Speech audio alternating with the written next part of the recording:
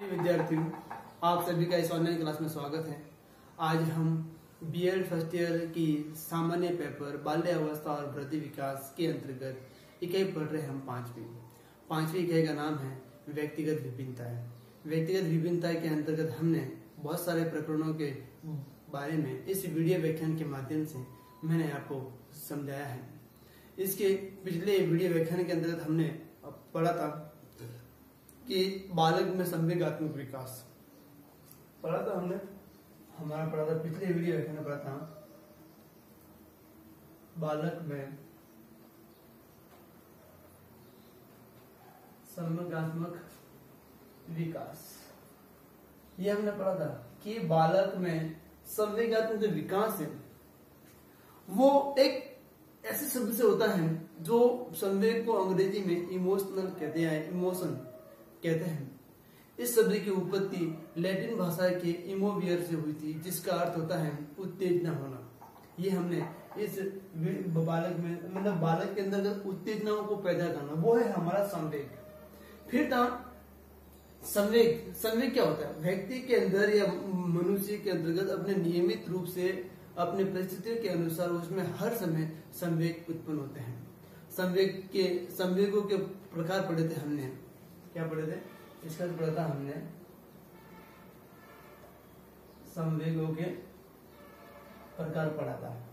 तो संवेगों के प्रकार जो है हमारे, दो होते हैं। कितने होते हैं? दो। दो मतलब लिखाया था मैंने, पहला तो था हमारा सकारात्मक। कौन सा था? सकारात्मक संवेग। और सेकंड नंबर था हमारा नकारात्मक। नकारात्मक संवेग। तो सकारात्मक संवेग वे होते हैं जिसमें प्रेम, हर्ष उल्लाह आनंद, इसमें ये इस प्रकार के जो स्वतः ही एक दूसरे के प्रति उत्पन्न होते हैं। नकारात्मक संवेग वो होते हैं जो व्यक्ति को कष्टदायी या दुखदायी पहुंचाते हैं, प्रभाव पहुंचाते हैं, जिसमें भय, क्रोध, चिंता, चिंतन, कष्ट ईर्ष्या आदि जो है, ये हमारे नकारात्मक में अंतर्गत आते हैं। आज का हमारा टॉपिक है मूल प्रवृत्ति का संवेग से संबंध। किससे? आज का हमारा टॉपिक है मूल प्रवृत्ति का मूल प्रवृत्ति का संवेग से संबंध है। मूल प्रवृत्ति का संवेग से संबंध। मूल प्रवृत्ति का संवेग से संबंध होना होता है? कि व्यक्ति के अंतर्गत या मनुष्य में। ये जो संवेग, ये तुरंत अपने आप उत्पन्न होते हैं। मतलब संवेग के तुरंत बाद।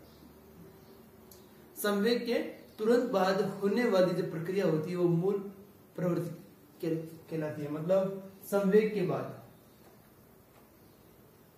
संवेग के बाद होने वाली संवेग के बाद होने वाली क्रिया। क्रिया को मूल प्रवृत्ति कहते हैं। संवेग के बाद मतलब। मूल प्रवृत्ति होता है कि हम उस चिंता के बारे में उससे पहले संवेग और बाद में मूल प्रवृत्ति आती है। मतलब आपका पहले संवेग होने के बाद में आपका बाद वाला जो व्यवहार है वो किस प्रकार से है? तो मूल प्रवृत्ति के जन्मदाता था वो मैक्यूडल है। कैसा है मूल प्रवृत्ति के जन्मदाता। मूल प्रवृत्ति के जन्मदाता कौन है? मैक्यूडल है। मैक्यूगल है? सॉरी मैक्यूगल है? तो इसने मूल प्रवृत्ति के बारे में बताया है कि व्यक्ति के अंदर पहले संवेग आते हैं और उसके बाद उसकी मूल स्थिति आने दिखती है। मनोवैज्ञानिक, प्रसिद्ध मनोवैज्ञानिक विलियम मैक्यूडल और गिलफर्ड ने भी सर्वाधिक महत्वपूर्ण संवेग जो है वो भय को बताया। किसने बताया?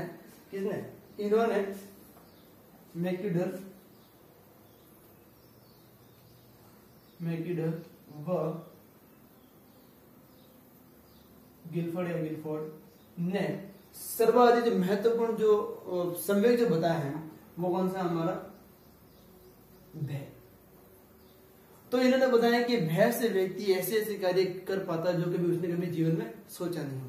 हमारे अंदर जैसे हम कभी कभी कहते हैं हमारे पीछे कोई आ, किसी कारण कोई ऐसी परिस्थिति आ जाती है कि हमें दस फुट की दीवार को कूदना है। अगर हम अपने धैर्य से कूदेंगे तो कभी नहीं कूद पाएँगे। अगर उसी को हम अगर डर के साथ भगा कर अगर बोलते हैं कि आपको ये दीवार पार करनी है, आपको नहीं, आपको मारेंगे, आपको जान से मारते रहेगा ठीक है? तो आप अपने बचाव के लिए वो दस फीट की दीवार को भी आप एक सेकंड के अंदर उस दीवार को आप पार कर सकते हैं। क्यों? क्योंकि आप में वो भय कि मैं, मुझे मार न दे।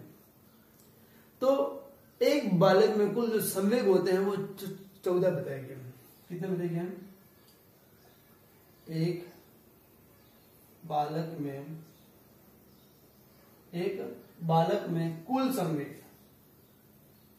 कितने संवेग? कुल संवेग जो है, कितने हैं? चौदह। बालक में कुल जो संवेग है कितने चौदह है। संवेग का नाम बता देता हूँ। भय, वात्सल्य। आत्महीनता भूख घृणा चार पांचवा, आत्माभिमान, आश्चर्य, क्रोध, अधिकार, आमोद कर्तव्य भाव कामुकता, एकीपन और करुणा व में मतलब हम अगर भय करते हैं तो भय से मूल क्या होता है पलायन करना भाग जाना। ठीक है? अगर हम वात्सल्य कर रहे हैं तो संतान के प्रति, एक माँ अपने बेटे के प्रति वात्सल्य भाव ममता वाला भाव दिखाती है।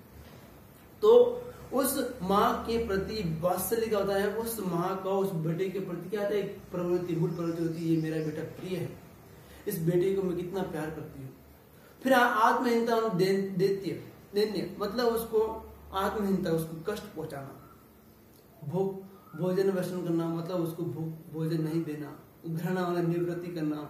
आत्माभिमानी गौरव हमें प्राप्त होता है कि आज हमारे बेटे ने ये काम करके दिखाया। फिर क्रोध क्रोध का युस्तता मतलब क्रोध आने पर कोई व्यक्ति अपने आप को भूल जाता है।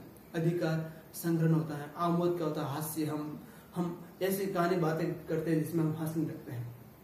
फिर आता है कृति भावनी रचनात्मक क्रिया। हम जो किसी क्रिया के बारे में, रचना के बारे में पढ़ते हैं तो उसकी रचना के प्रति हमारे भाव उत्पन्न होते हैं। कितनी बात कितनी अच्छी कविता है, कहानी है, रंगमंच है, व्यंग्य है। तो उन कहानियों के प्रति कविताओं के प्रति पाठ्य पुस्तक के प्रति हमारी भाव होती है कि उस रचनाओं के प्रति भाव होते हैं, वो हमारे मन में सोते उत्पन्न होने लगता है। कामुकता, काम प्रवृत्ति। कामुकता, एक लड़का लड़की को देखता है, उसके मन में एक कामुकता की भावनाओं का विकास होता है।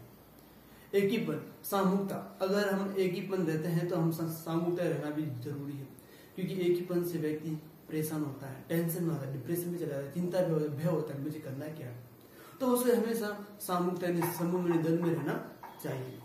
फिर एक क्रोध व क्रोध व दुख।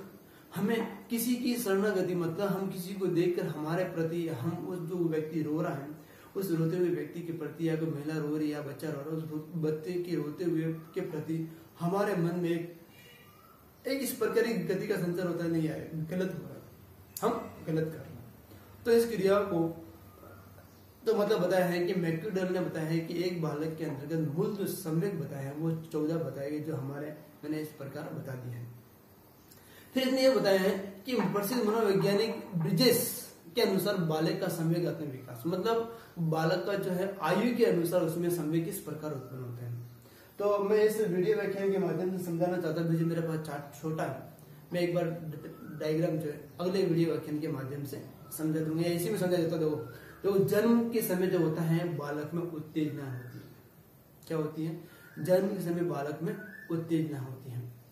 और उत्तेजना आनंद जो है, वो हमारे तीन माह, जब बालक तीन महीने का होता है तो बालक हर प्रकार की उत्तेजना के प्रति आनंद और कष्ट भोगता है।